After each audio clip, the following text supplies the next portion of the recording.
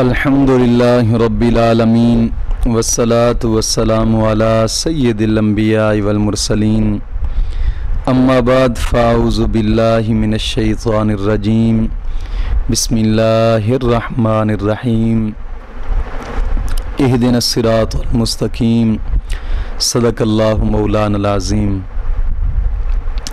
रूहानी पावरफुल वज़ाइफ में से जो आज का एक अहम सबक है बड़ा ही रब का प्यारा नाम और पावरफुल वजीफ़ा है। खसूस ये वजीफ़ा ख़वातीन के लिए है, बल्कि है ही ख़वातीन के लिए। ख़वातीन खसूस ये वजीफ़ा संभाल कर रखें, वक्त पर ज़रूर काम आएगा। कोशिश किया करें, नमाज़ की पाबंदी लाजमी किया करें। और हर नमाज़ के बाद ग्यारह मरतबा कलमा तय्यबा और ग्यारह मरतबा दरुद पाक ज़रूर पढ़ा करें। हर नमाज़ के बाद इसको हमेशा के लिए जनाब अली एक अमल बना लें।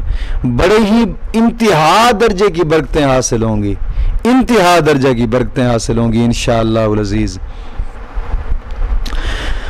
अब ये वजीफ़ा है ख़वातीन के लिए कि अक्सर तौर पर हम देख रहे हैं कि इस दौर में छोटी सी बात होती है। डॉक्टर कहते हैं कि जनाब अली, यहाँ पर जनाब अली ऑपरेशन होगा। बच्चा नॉर्मल डिलीवरी से पैदा नहीं हो सकता। यहाँ पर ऑपरेशन होगा। मैं ये कहता हूँ कि जो मैं वजीफ़ा ये बता रहा हूँ, अल्हम्दुलिल्लाह बुज़ुर्गों का मुजरा वजीफ़ा ये करें, और अगर नॉर्मल डिलीवरी ना हो तो फिर क्या ना? इन और ये मेरा खुद का मुजरब वजीफ़ा है। अल्हम्दुलिल्लाह, मैं इस नाम के कई तावीज़ात भी बना कर देता हूँ। और मैंने, अल्हम्दुलिल्लाह, आज तारीख तक, जब भी बच्चे के बारे में जब मैंने तवीज़ दिया है कि बच्चा ज़िंदा नहीं रहता पेट में, या फिर बच्चा जनाब अली ऑपरेशन से डॉक्टर कहते हैं कि ऑपरेशन होगा तो मैं इन दोनों चीज़ों के लिए एक तवीज़ बना कर देता हूँ और ये, यही तवीज़। इन्हीं नामों के आदाद का तवीज़ बना कर देता हूँ।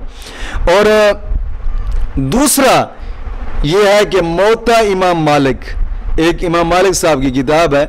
मैंने वो भी दो तीन जगहों पर वो भी आजमाई और अलहमदिल्ला इमाम साहब की ये करामत है कि वो किताब अगर औरत अपने हाथ में ऐसे रख कर आखिरी टाइम पे अपने हाथ में पकड़े रहे तो इन अज़ीज़ ऑपरेशन नहीं होगा नॉर्मल डिलीवरी घर में बच्चा पैदा हो जाएगा। उस किताब की ऐसी करामत है एक। इमाम साहब की अभी तक करामत ज़िंदा है वो। और दूसरा इस चीज़ का मैं तवीज बना कर देता हूँ, अल्हम्दुलिल्लाह मेरा आज तारीख तक मैं कसम नहीं उठाता मेरा रब इस चीज़ का गवाह है, लेकिन आज तारीख तक मैंने नहीं देखा कि मैंने किसी को यह तवीज बनाकर दिया है और उसका ऑपरेशन हुआ हो। जिसको ऑपरेशन भी डॉक्टर ने बता बनाकर जनाब अली बताया है ना, मैंने वो तवीज दिया, अल्हम्दुलिल्लाह, उनका भी ऑपरेशन नहीं हुआ। ये ज़िंदा मिसाल है हमारे पड़ोस में। अभी की ज़िंदा मिसाल है। अल्हम्दुलिल्लाह। डॉक्टर ने कहा था, ऑपरेशन के बगैर ये हो ही नहीं सकता, ये हो सकता है, वो हो सकता हमारा दोस्त है, अदनान नाम है उसका।